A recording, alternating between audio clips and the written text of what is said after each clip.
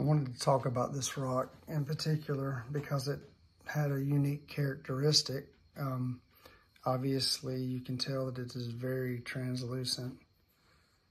It has a great clarity to it, beautiful coloration.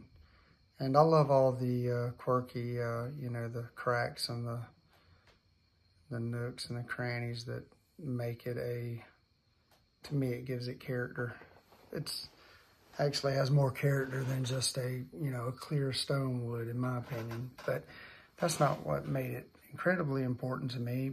What I noticed was the sheen of this particular rock just has a pretty wild luster to it. And what drew my eye was I have taken, you know, rocks in the past and trying to, whether I was cleaning them or make them more presentable, I would um, at times clear coat a few rocks or either put a mineral oil on a rock, you know, to try to give it that, um, give it a good shiny look. And um, that's what it reminded me of when I looked at it. I, I thought, wow, that look, almost looks like I put a mineral oil on the rock.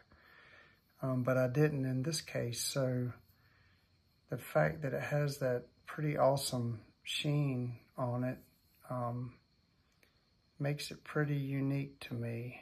Uh, I believe it to be a, uh, you know, a carnelian, mainly because it has a pretty um, you know, the, the luster of the light coming through it has a very muted kind of coloration. As you can tell, it's very soft.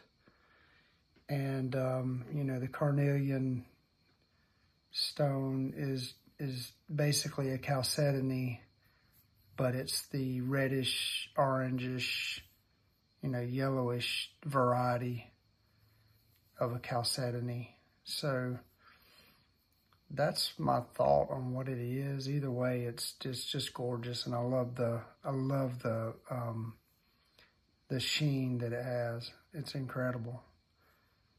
This is one I'm I'm going to display, and you know, in some way, I'll probably put it on one of my light pedestals. That uh, actually, I can I can show you one. Let's look at it like this guy right here. Really bright. Sorry. So hard to tell. It's a lot more dim uh, in my house that I can actually see the coloration better. This camera picks up a very sharp image, but beautiful stone. And I wanted to share that. I hope you enjoy.